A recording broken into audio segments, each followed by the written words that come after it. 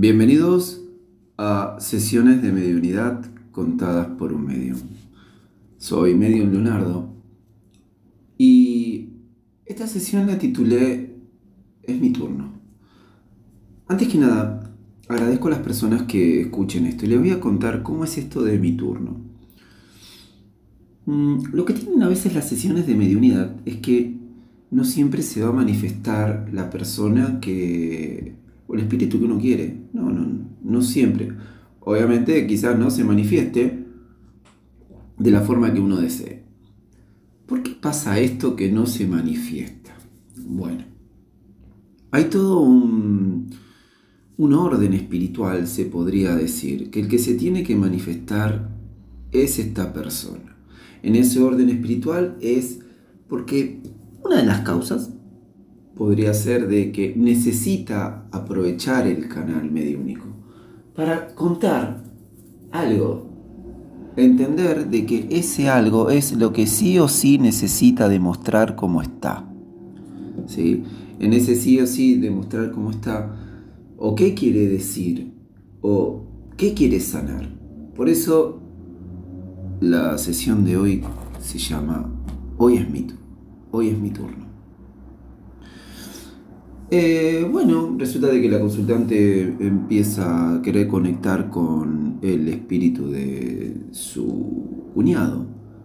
Yo ya aviso esto de que puede pasar, de que no, no sea el, el espíritu de la persona en sí el que aparezca. Entonces, cuando veo, le digo, mira, la consultante está obviamente muy expectante a través de la videollamada, empiezo a sentir que se incorpora el espíritu de alguien.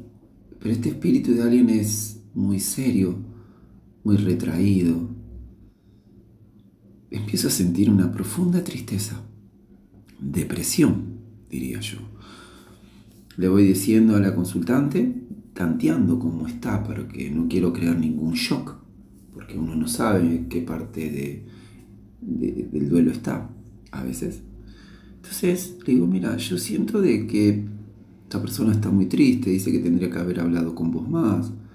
Veo que ahí entra con una motita a una casa.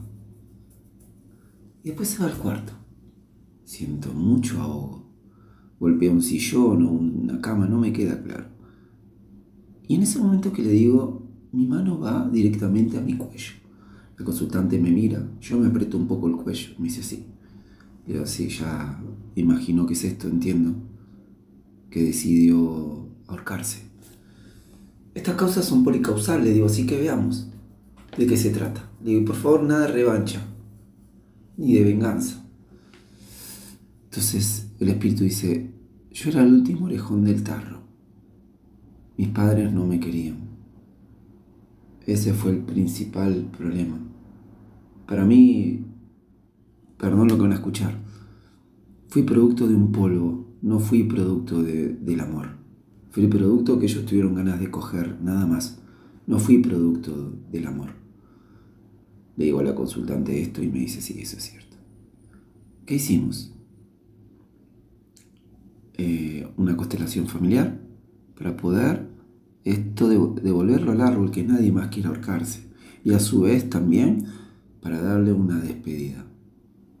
Después de esto charlamos un rato con la consultante y quedó mucho más tranquila. Igualmente se recomienda siempre, siempre ir al médico al psicólogo. Gracias por escuchar esta sesión y disculpen el lenguaje, quizás un poco obsceno para algunos, pero a veces los espíritus se manifiestan de esta forma. Muchísimas gracias.